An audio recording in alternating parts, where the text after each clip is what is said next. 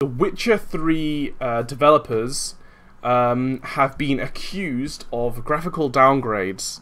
Um, so basically, this week, um, and was it the last week? Was it the week previous as well? Prior to this as well? Uh, but basically, uh, Witcher 3, uh, so uh, CD Projekt, uh, Projekt Red um, released some footage and some um, screenshots and bits and pieces basically from The Witcher 3.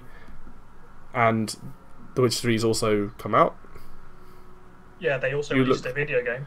Yeah, well, no, no, no. But what I'm saying is, is that they. But what I'm trying to say is that that all this, we we, we mentioned this before, but this kerfuffle was being yeah, yeah. This was happened This before was, the release. yeah, this Yeah. this was assumed from the things, but when Yeah. it was released, it was more obvious because people could actually see for themselves. Yeah. Um. So, but I, I mean, I haven't played any of the Witcher things or kept up with this news. So, Chris, because you're the you're the Witcher three, you're the Okay, Witcher So, fan. quick rundown on this whole mess then. So, uh, yeah, The Witcher 3 was released recently, and up until release, a lot of.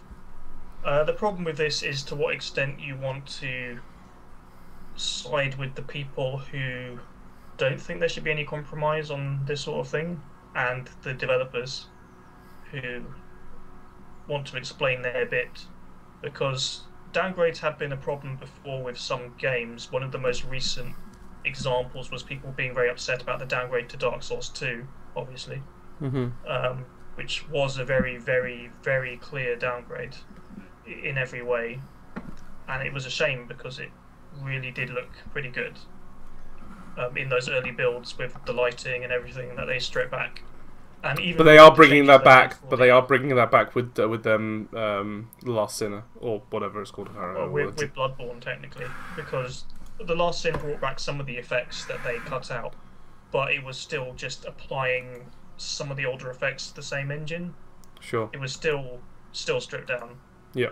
on the whole, but it's uh, it's a step it's a step in the right direction again. Um, so yeah, the basic issue Mm-hmm. is that The Witcher 3, when it was revealed, when they've shown shots and footage of it, looked good. Really, really good. They wanted it to be one of the best looking games, period.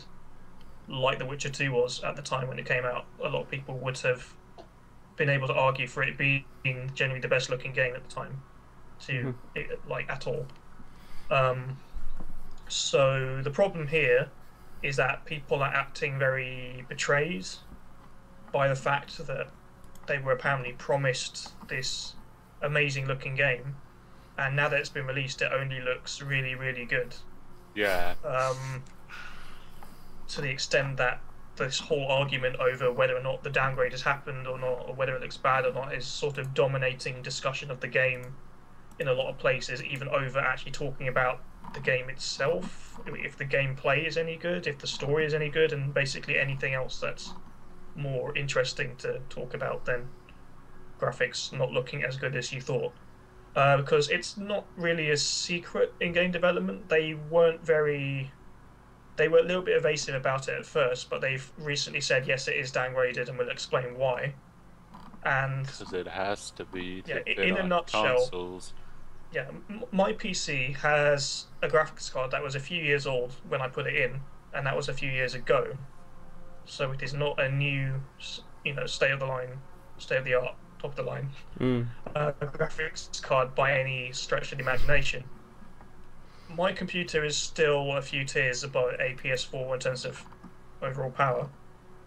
Um, so, what CD Projekt had to do is they said in order to have the budget that they would need to make a game on the level of The Witcher 3 without sacrificing their scale or ambition on it, because it is a much larger game than the last two in the series um, they need to release it on consoles, and in order to release it on consoles, they need to make sure that it can run on those consoles.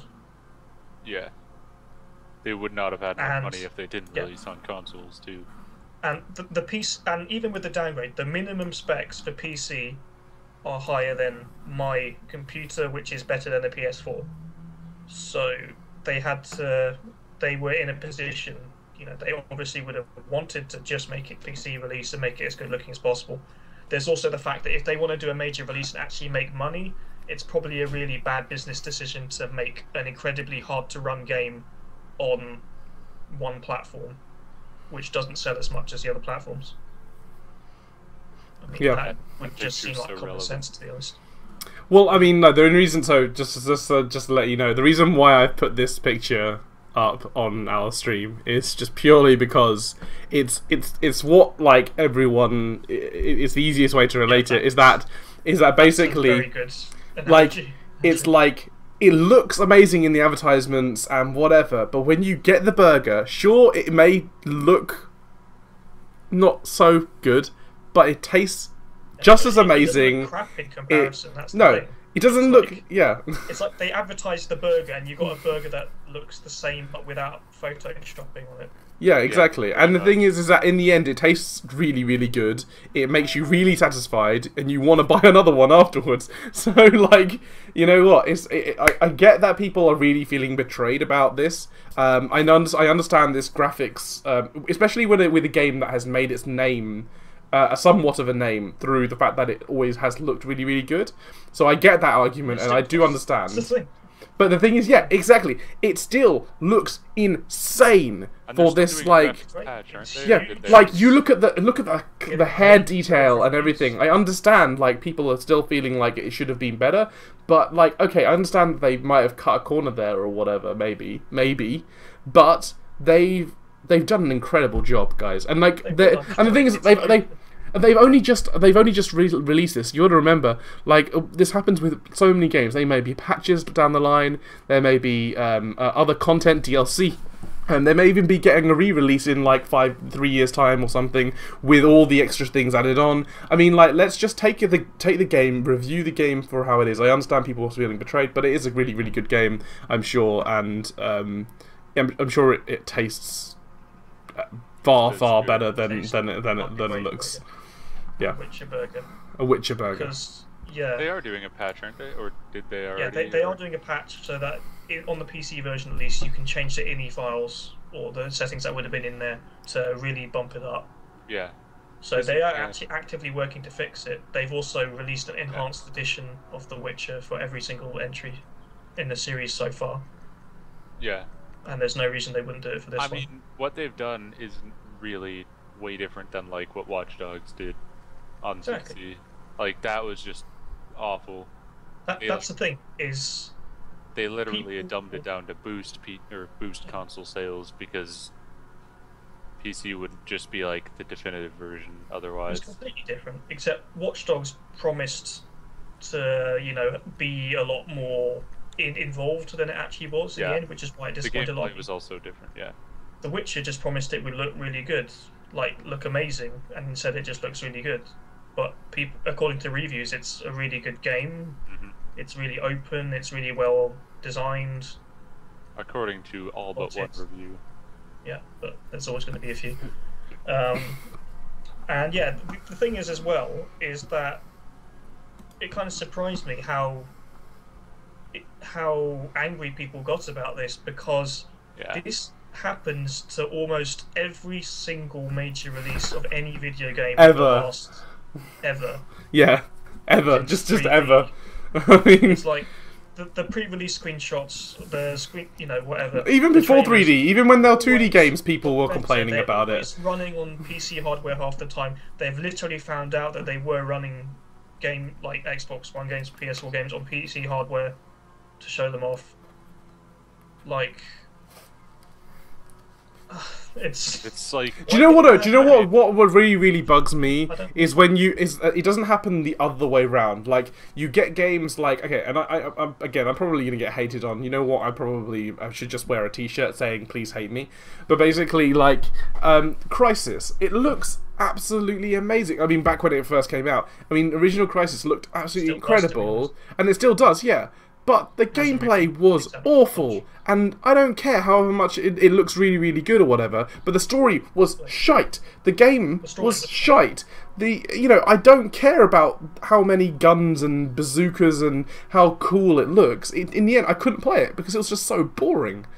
And like and we got the opposite going on here where well not even the opposite we have it here we have a game which looks incredible and like the gameplay is most likely really really well done the story as everyone knows is really really really good and you're all and people are like properly slating on it and it's like what is wrong with you guys like I understand. I understand. Like, obviously, you always need complaints because otherwise things don't progress and everything. You obviously always need that, and I'm never going to take that away. But it, it's just, I don't know. I, I think some people just need to, you know, they need to sort of step back a bit and actually see things for how they are. You know, and they in the, A- and they with the wanted to general scope. it, but they couldn't. They explained why. It's the reality of the industry. We're stuck with this Yeah. hardware for the next seven years again, or however long. It's gonna And and just sorry, just to credit something. Um, uh, the uh, the picture that I got was from the IGN post, which I'm obviously going to have it down the, in the description. And the picture that I had for the Burger King thing was posted by Root Bear in a Root Bear in a Barrel. Beer in a barrel, sorry. Root beer in a barrel. Oh my god, I can't actually in speak. Root beer in a barrel. So just to say, because obviously that wasn't our original post. So yeah. Um, I don't want to So take yeah. I, I, don't, I don't get it because it's also worth mentioning it's an open world game as well. Yeah. And obviously, The Witcher Three had a huge budget, but with any open world game, there's gonna be a part of the game where you can zoom the camera right into a wall and go, "Oh look, this doesn't look perfect." Like GTA 5 made all the money in the universe and probably had a gigantic budget that was even bigger than The Witcher 3. And they're a bit sort Yeah, of ropey. this is- this you is know. the- It- this it's is- a good looking game on the whole, but Yeah. it's like it's Let- not you know a, it's not a completely designed world in every facet, and no one has Yeah. the budget to do that yet. Yeah, and I, just talking. ab- I think this should this will be a nice te- uh, ending Yeah. to this to this Speaking topic. of hardware limitations, Yeah, well, I mean, we'll we'll, we'll, we'll, no, Morpheus. well, we, we'll, about to- we'll we'll go on to that in a second, but just just for this this last little segment, just the last little bit.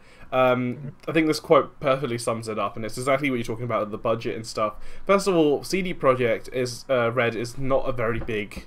Um, they're not a very big company. They don't have a lot of money. Relatively and speaking, no. yeah, relatively speaking. And they just made this quote: developing uh, if they were own developing so developing only for PC, yes, probably we could get get more in terms of graphics, as um, there would be nothing else for them to develop. Um, they would be uh, be so focused. Um, like if we could only develop for Xbox One or PS4, but then we cannot afford such a game. And what basically what they're just trying to say is, is that sure, if we were just developing for PC, of course we could make the graphics that we promised, or not promised, but we we we suggested that we would be able to get to. Um, but now they're producing for two other consoles. They don't have the money to actually be able to spend that, and they're also already making a game that is like like hundred times better looking than like you know games that are brought out by studios like Arkane Studios, who are who have you know twice the budget. Um, like so, We don't know how they stack up in terms of. I'm not sure what kind of budget Dishonored had. or even from software. That was also a last gen. Dishonored looked pretty good. Uh, the problem was the texture compression wasn't very good, which is Sure, kind of a different problem. but but but what I'm saying is either either way, it just what I'm saying is that it, there's no way that they would have been able to produce something for that price, and for the money that they had. So like anyway, that's that that's what they that's their their main comment, which was they couldn't afford to make a game which that looked that, looked that good, and I think for what they've done, they've managed to achieve. For the sort of budget they managed to do, managing to produce a AAA game of that caliber, they've done really, really well. So, oh for sure. yeah. Um, talking about like, what was your what was your Speaking of segue? hardware limitations, Sony's Project Morpheus